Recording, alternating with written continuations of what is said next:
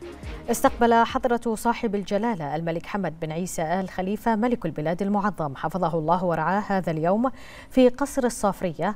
سمو الشيخ عبد الله بن حمد آل خليفة الممثل الشخصي لجلالة الملك المعظم رئيس المجلس الأعلى للبيئة. وسمو الشيخ ناصر بن حمد آل خليفة ممثل جلالة الملك للأعمال الإنسانية وشؤون الشباب. ومعالي الشيخ خالد بن أحمد آل خليفة وزير الديوان الملكي. والفريق أول معالي الشيخ راشد بن عبد الله آل خليفة وزير الداخلية. وسعادة الدكتور محمد بن مبارك بن دينة وزير النفط والبيئة المبعوث الخاص لشؤون المناخ. وخلال اللقاء وجه جلالة الملك المعظم حفظه الله سمو الشيخ عبد الله بن حمد آل خليفة لعمل ضوابط لتنمية الثروة السمكية وحمايتها والاستمرار في عملية الاستزراع السمكي بما يفي بمتطلبات واحتياجات السوق المحلي. بالإضافة إلى وضع الإجراءات التي من شأنها المحافظة على الثروة السمكية باعتبارها من الموارد المهمة للمواطنين.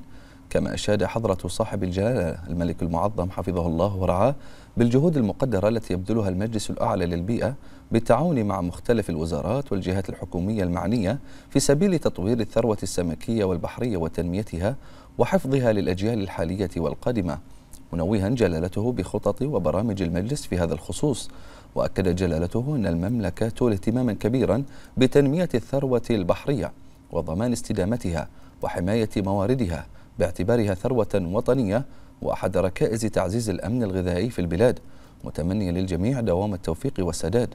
وقد رفع سمو الشيخ عبد الله بن حمد الخليفة اسم آيات الشكر وعظيم التقدير ووافر الامتنان لجلالة الملك المعظم على توجيهات جلالته السامية وعلى دعم جلالته لجهود المجلس الأعلى للبيئة وخططه الرامية لتحقيق كل الأهداف والتطلعات المنشودة لخدمة الوطن العزيز.